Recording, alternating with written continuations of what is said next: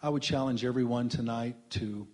to focus on your network and see if you have an opportunity just after everything you've heard how can you not walk away inspired to do this to call up people send emails whatever you can do to to motivate others to